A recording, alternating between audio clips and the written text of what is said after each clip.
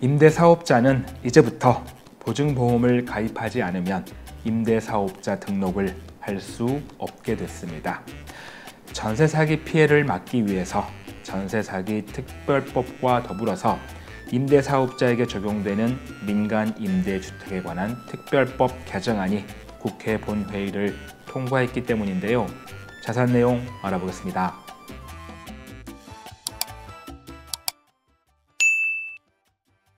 네, 안녕하세요. 박찬웅의 부동산 쇼 부자남 박찬웅입니다. 지난 5월 25일 전세 사기 특별법과 더불어서 민간 임대주택에 관한 특별법 일부 개정 법률안이 국회 본회의를 통과했습니다. 전세 사기 피해를 막기 위해서인데요.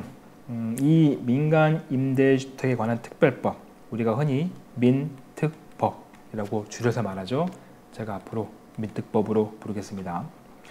이번에 민특법을 개정하게 된 이유와 주요 내용을 보니까 현재 민특법에서는 등록임대 사업자, 주택임대 사업자를 말합니다. 이 주택임대 사업자는 임대 사업자를 등록하고 나서 임차인의 임대 보증금에 대한 보증을 반드시 가입하도록 되어 있습니다. 임대 사업자를 등록하고 나서 그 다음에 보증보험에 가입한다라는 거죠. 그런데 이렇게 되어 있다 보니까 최근 전세 사기 피해 사례에서 임대 사업자가 반드시 보증에 가입해야 함에도 불구하고 보증금을 떼일 위험이 없다고 임차인을 먼저 안심시킨 뒤에 깡통 전세 계약을 체결하고 실제로는 보증보험에 가입하지 않는 결과적으로 임차인에게 피해를 끼치는 이런 사례가 다수 확인되면서 개정이 불가피해진 겁니다. 이번에 바뀐 내용을 보니까 만약 임차인이 살고 있는 주택은 그리고 이 주택을 주택임대 사업자에 등록을 하려면 보증보험에 가입한 경우에 한해서 등록을 허용하겠다. 그러니까 먼저 보증보험에 가입하고 나서 그 다음에 임대사업자 등록을 할 수 있다라는 거죠. 쉽게 말하면 선보증 후 등록입니다. 현재 법은 선등록 후 보증인데 이걸 바꾸는 거죠. 먼저 보증보험 가입하고 그 다음에 임대사업자 등록을 할 수가 있다는 거죠. 더 나아가서 보증보험에 가입해야 함에도 가입하지 않아가지고 등록이 말소된 임대사업자는 임대주택 등록을 제한함으로써 임차인의 피해 예방과 주거 안정을 도모하겠다라고 했습니다. 자, 그러면 실제 법 조문을 보면서 어떻게 바뀌었는지 확인해 보겠습니다. 먼저 제5조 임대사업자의 등록 부분입니다. 7항을 보니까 시장 군수구청장이 제1항에 따라 등록 신청을 받은 경우 다음 각 호의 어느 하나에 해당하는 때에는 해당 등록 신청을 거부할 수 있다라고 되어 있죠. 여기서 1호를 보시면 해당 신청인의 신용도, 신청 임대주택의 부채 비율 등을 고려하여 제49조에 따른 임대보증금 보증 가입이 현저히 곤란하다고 판단되는 경우에는 임대사업자 등록을 할 수 없다라는 거죠. 당연하겠죠. 보증보험에 가입이 안 되는 거니까 곤란하니까. 근데 여기서 신청 임대주택의 부채 비율 여기에 다시 가로안을 보시면 임대차 계약이 있는 경우와 임대차 계약이 없는 경우로 나누어서 설명하고 있습니다. 임대차 계약이 있다는 건 임차인이 살고 있는 경우죠. 근데 이것을 어떻게 바꿨냐면 임대차 계약이 있는 경우는 삭제하고 임대차 계약이 없는 경우만 남겨놓았습니다. 이건 당연하겠죠. 왜냐하면 임대차 계약이 있는 경우, 즉 임차인이 살고 있는 경우는 반드시 먼저 보증보험에 가입하고 그 다음에 임대사업자 등록을 할 수 있는 거니까 굳이 여기에 이 내용을 남겨놓을 필요가 없었던 거죠. 그래서 삭제가 됐습니다. 이번에는 제5조의 6 임대사업자의 결격 사유입니다. 다음 각 호의 어느 하나에 해당하는 자는 제5조에 따른 임대사업자로 등록할 수 없다 라고 되어 있죠. 여기서 2호를 보시면 제6조 제1항 제1호, 제4호, 제7호부터 제10호까지 제12호 및 제13호에 따라 등록이 전부 말소된 후 2년이 지나지 않으면 임대사업자 등록을 할 수 없다라는 거죠. 그런데 여기서 조건이 조금 더 강화됩니다. 제12호 및 제13호에 따라 이게 이제 제12호부터 14호까지 라고 해서 이 14호가 새로운 조건으로 추가된 거죠. 14호가 어떤 내용이 있냐면 바로 이겁니다. 임대사업자가 임대보증금에 대한 보증에 가입하지 아니한 경우 이게 기존에 없다가 새롭게 넣은 거죠. 그래서 임대사업자가 보증보험에 가입해야 함에도 가입하지 않아 가지고 등록이 전부 말소가 됐다면 말소된 날로부터 2년이 지나지 아니하면 임대사업자로 등록을 할 수가 없다라고 보시면 됩니다. 이번에는 제5조의 7 임대사업자의 임대주택 추가 등록 제한 등입니다. 어, 여기도 어, 앞선 제5조의 6과 마찬가지인데요. 임대사업자 등록이 일부 말소된 후 2년이 지나지 아니한 자는 임대주택을 변경하거나 추가로 등록할 수가 없는데 여기서도 세부 요건에 제2호 및 제13호에 따라 이게 제12호부터 14호까지 그러니까 임대사업자가 임대보증금에 대해서 보증 가입을 해야 되는데 이걸 가입하지 않아 가지고 일부가 말소가 됐다면 말소된 날로부터 2년이 지나지 않으면 임대주택을 변경 신고하거나 추가로 등록할 수가 없다라고 보시면 됩니다. 더 강화시킨 거죠. 이번에 마지막으로 제49조 임대보증금에 대한 보증 부분입니다.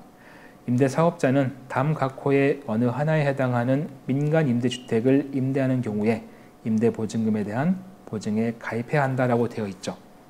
이 말을 잘 보시면 민간 임대주택 이 말은 무슨 말이냐면 이미 임대사업자로 등록이 된 경우예요. 그래서 먼저 임대사업자를 등록하고 그 다음에 임대보증금에 대한 보증에 가입한다라는 거죠.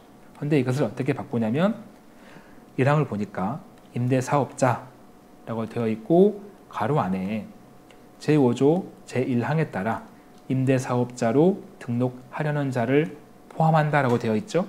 그러니까 현재 임대 사업자뿐만 아니라 임대 사업자로 등록하려고 하는 그 사람도 포함한다라는 겁니다. 예, 그래서 반드시 먼저 보증보험에 가입하고 그 다음에 임대사업자 등록을 하라라는 거죠. 임차인이 살고 있는 주택이라면 제 사항도 바뀌었습니다. 사항은 임대보증금 보증의 가입 기간이 담겨 있는 조항인데요. 보증의 가입 기간은 다음 각 호의 시점부터 어떻게 하라라고 되어 있죠. 근데 이것을 어떻게 바꿨냐면 임대 사업자는 제1항에 따른 보증에 다음 각 호의 시점 이전까지 가입을 해야 한다라고 되어 있습니다. 좀 조건이 바뀌었죠. 그러면 어떤 경우냐면 1호를 보니까 제1항 제1호 및 제2호 1호 같은 경우는 민간 건설 임대주택이에요. 직접 집을 지어서 어, 임대사업자로 등록하는 경우이고 2호는 분양받은 주택을 전부 다 임대사업자로 등록한 민간 매입 임대주택을 말합니다. 자, 이 두 가지의 경우에는 주택법 제49조에 따른 사용검사, 임시사용승인 또는 건축법 제22조에 따른 사용승인, 임시사용승인의 신청일, 이 날짜 이전까지 보증보험에 가입을 해야 된다라는 겁니다. 다만 신청일 이전에 임차인을 모집하는 경우에는 모집일로 합니다. 이 모집일 이전까지 보증보험에 가입을 하라라는 거죠. 이렇게 조건이 강화가 됐습니다. 자 그러면 이 법은 언제부터 시행이 될까? 부칙을 봐야겠죠. 이 법은 공포 후 4개월이 경과한 날부터 시행합니다. 5월 25일 날 국회 본회의를 통과했지만 이 개정안이 아직 공포가 된 건 아닙니다. 그래서 공포가 되고 나서 4개월이 지난 날부터 경과한 날부터 시행하는데 다만 제5조의 6, 제2호 및 제5조의 7의 개정 규정은 공포한 날부터 시행입니다. 이 부분은 음, 임대사업자의 결격 사유에서 어, 조건이 좀 강화됐죠. 그 강화된 조건은 공포한 날부터 시행이고요. 두 번째로 임대 보증금, 보증 등에 관한 적용례, 보증보험을 언제까지 가입해야 되는지, 임차인이 살고 있는 경우라면 임대사업자 등록하기 전에 먼저 보증보험에 가입하고 그리고 임대사업자 등록을 할 수 있죠. 자, 이거는 이 법 시행 이후 임대사업자 등록을 신청하는 경우부터 바로 적용이 됩니다. 마지막으로 결격 사유 등에 대한 적용내 제5조의 6, 제2호 및 제5조의 7 개정 규정은 이 법 시행 이후 임대사업자의 등록이 말소된 경우부터 적용한다고 되어 있죠. 앞서 임대사업자가 보증보험에 가입해야 함에도 가입하지 않아 가지고 전부 등록에 말소됐을 때는 말소된 이후 2년이 경과하지 않으면 등록 신, 등록이 안 되고 일부 말소라면 역시나 2년이 지나지 아니했다면 변경 신고나 추가 등록이 안 되는 거 이거는 이 법 시행 이후 임대사업자 등록이 말소된 경우부터 바로 적용을 시행합니다. 자 이렇게 이번에 어, 개정된 민특법 개정안을 살펴봤는데요. 어, 보증보험을 더 강화시켰죠. 음, 선보증 후 등록으로 사실 보증보험 자체가 임대사업자 분들에게는 좀 까다로운 부분인데 그걸 조금 더 까다롭게 했으니까 음, 분명 힘든 부분이 있겠지만 어쨌든 법은 바뀌었습니다. 그래서 앞으로 임대사업자를 등록하려고 계획하신 분들은 이 부분을 잘 체크하셔서 재테크에 실수가 없으시길 바랍니다. 마무리할 시간입니다. 저에게 큰 힘이 되는 구독하기와 좋아요, 알림 설정 꼭 눌러주시고요. 저는 다음 영상에도 최선을 다하겠습니다. 고맙습니다.